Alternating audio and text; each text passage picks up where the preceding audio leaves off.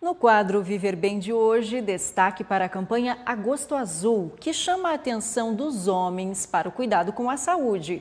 A campanha é realizada aqui no Paraná desde 2012 e o objetivo é incentivar a prevenção de doenças que acometem os homens. Quem conversa comigo hoje sobre esse assunto é o médico urologista, o Dr. Sérgio Janseski. Doutor, muito obrigada, bem-vindo. Muito obrigado, é uma alegria estar aqui mais uma vez. Doutor, nós aproveitamos sempre datas como essa né, para cumprir o nosso papel de informar a população. A gente precisa falar sobre as doenças que acometem os homens e que muitas delas até poderiam ser evitadas. Hoje, quais são essas doenças? Quais são as doenças que mais acometem a população masculina? É, a, especificamente no, do, do homem, basicamente é do trato urinário masculino, que aí o principal fator é a próstata, pelo alto índice de câncer, né? O câncer, segundo câncer mais comum no homem. E, como disseste, é uma doença que pode ser prevenida, pode ser evitada com hábitos e exames eh, regular, regulares.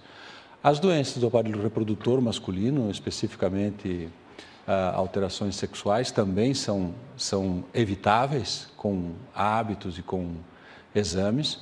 E sem falar nas doenças que mais matam a população, tanto masculina quanto feminina, e que aí inclui-se doença cardiovascular, derrames, diabetes, doença pulmonar, cânceres em geral, né? Então, essas doenças, como foi falado agora na, na, na, na reportagem anterior, também doença renal, que tem alguns hábitos que podem evitar essa doença e exames simples que podem é, diagnosticar precocemente e, e, fazer o tratamento adequado de maneira mais eficaz, não é? Doutora, a procura dos homens por atendimento médico, exames preventivos e consultas de rotina de forma geral, essa procura por parte dos homens ainda é baixa, doutor? É, eu estou aqui em Pato Branco há um pouco mais de 30 anos e com alegria vejo que isso mudou, não é? Há uma tendência, os homens estão mais conscientizados, é, maior informação, esse tipo de, de, de, de, campanha acaba ajudando, e, mas ainda a, as mulheres são mais cuidadosas, têm mais contato com, até pela, pelo fato de gestar, né? tem o contato com os, os ginecologistas, mas isso felizmente está melhorando, os homens têm se dado conta de que vale a pena se, se prevenir, não é? E é, a, esse tipo de campanha, como eu disse, realmente é importante.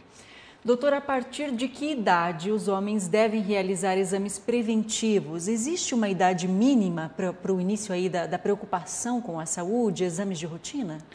É, exames é, para cada faixa etária, pessoas jovens, homens que estão na adolescência, também devem naturalmente procurar o, o, o médico para ver se está tudo bem. Tem muitas pessoas que têm doenças metabólicas de base, uhum. que já se manifestam na tenra idade e que vão acabar prejudicando bastante a, o, o, homem, a, a, menina, quando fica adulto. Mas especificamente a próstata para o homem, a partir dos 45 anos, 50 anos, se não há ninguém na família que tenha tido doença.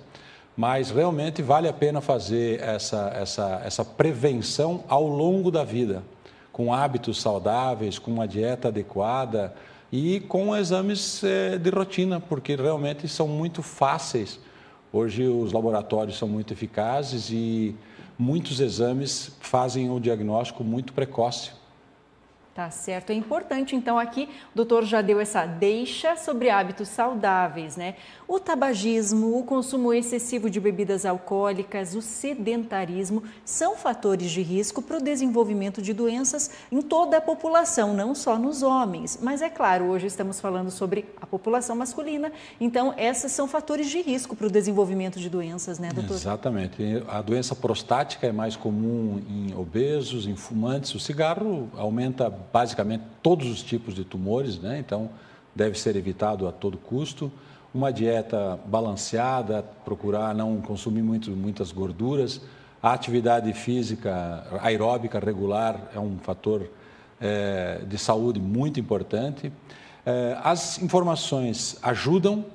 É, eu tenho reparado no consultório pacientes que acabam.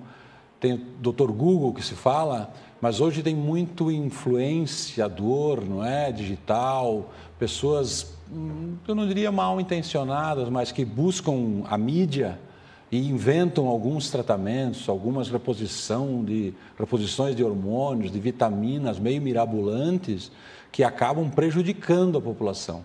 Então, o excesso de informação, o excesso de glamour com essa, essas fórmulas mágicas, eu tenho visto algumas pessoas deixando de fazer o que é fundamental, controlar a glicemia, controlar os colesteróis, porque isto é, é, toma um aspecto, não, isso é uma coisa dos médicos mais antigos. Esta é a verdade, isso é uma coisa científica, existem muitos dados que são científicos, que a ciência já comprovou como necessários. Aí vem, ah, não, tem que fazer a reposição do magnésio, do selênio.